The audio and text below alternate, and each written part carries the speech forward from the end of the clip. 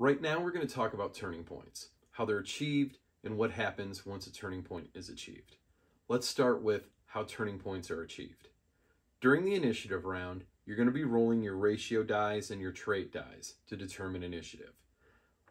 Every time you do that, you're going to take the value of your ratio die and you're going to mark that on your turning point counter. Now that cred coin is going to come from the crowd pile. So you'll draw a coin from the crowd pile and let's say I rolled a two, I'd place that in the two slot on my turning point counter.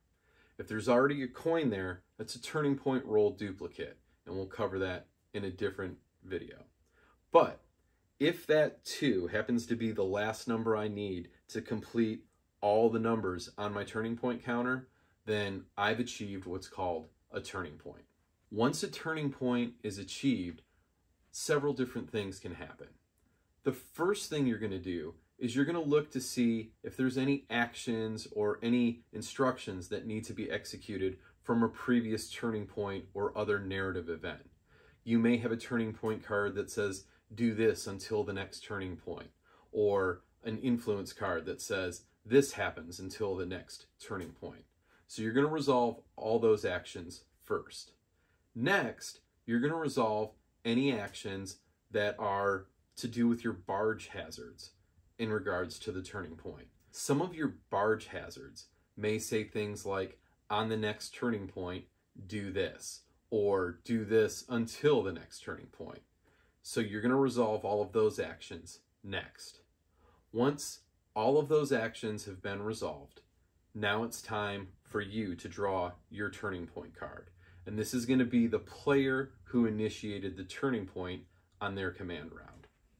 So, I'm going to draw my turning point card. My turning point card is going to have a narrative event with instructions and actions. Now, this may apply to me, this may apply to my opponents, this may apply to everyone at the table. Now it's the time to execute those actions on that turning point card. If a turning point card does involve me as well as other Lannisters at the table, you're going to start with the person who initiated the turning point, and then you're going to go in initiative order around the table and affect the other Lannisters that are affected by that card. Lastly, you're going to have what's called a turning point damage bonus. This is a plus six damage modifier that's going to be applied to your Helots' next successful attack.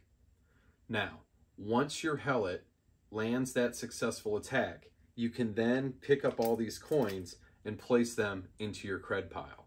But until that Helot lands the successful attack, these coins stay right where they are. And any ratio die rolls that you have during the later initiative rounds are going to trigger those turning point duplicates that we talked about earlier. Once all this is done, if your Helot is still alive, you can then spend the rest of your command points on actions and movements and conclude your command round.